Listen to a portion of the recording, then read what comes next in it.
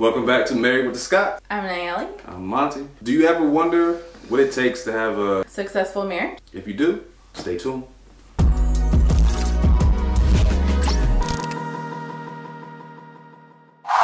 We've only been married, so let's start put that disclosure. We're not experts. We're just only talking about what works for us and you know what's been working, what's not been working, basically. So we've been married five years. When did we get married? Got married on May 27th, 2013. Right. So five years, and then we have two kids. Like I said, Eli Russell, two and three basically. Um, Russell turned. Two. So yeah, man. So not experts, but we have we have a pretty successful marriage, Yeah. right? So what what do you think some of the key things to having a successful marriage? Well, number one, obviously, is happy wife, happy life.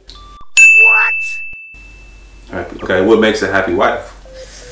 Um, that we work together, that we communicate. Communicate is huge. Communication. Communication. So spending- communication will be number one. Would you Yeah. put that number one?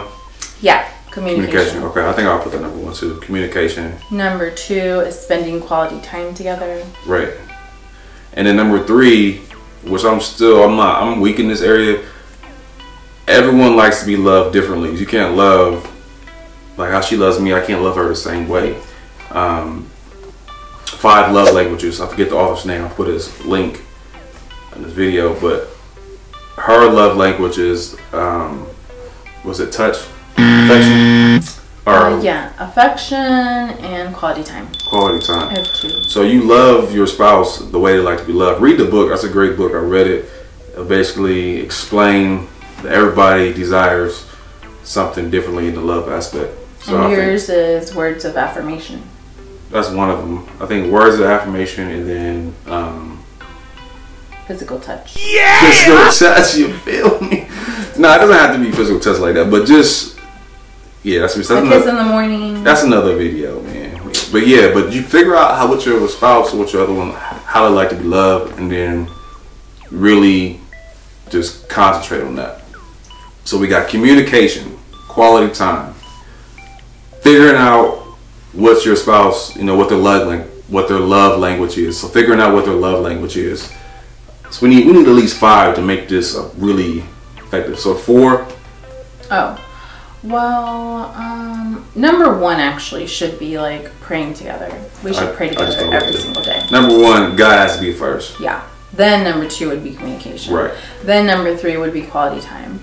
And then number four, You'll be compromised. You have to be willing to compromise, um, sacrifice for the greater good of relationship. Because sometimes when you get married, it's no longer individuals, it's one.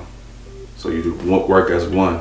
So to do that, you work as one and you're two, you got to compromise. That's the only way it's going to work. So we got we got one more, man. Get the people one more, get one more.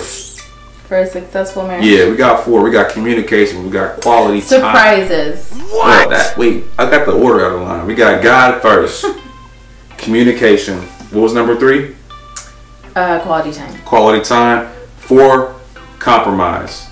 Five says surprises. What? Which is Greek. That's not. Now that is a love language. That's Uh, not like I'm not talking about um gifts. Well, I would say I wouldn't put it number five because it depends what that person's love language is. Oh, right. Like if their love like love language is gifts, then yeah, but I wouldn't put. Five. So so get to get to learn your your spouse. Like okay. you're constantly growing, you're constantly changing, so that you have to. That's always going to be a constant thing, change, right? So always be in touch. So with- evolve with the relationship. yeah, yeah, yeah. Okay. So what, how would you put a title on there? Evolve in your relationship mm-hmm. or just know your partner? Know your partner. Know your partner. Mm-hmm. Continue to know them because they, they change. She mm-hmm. changing, boy, I'm telling you. For the But yeah, for the uh, yeah for the better. So yeah, we got number one, keep God first. Two, communication.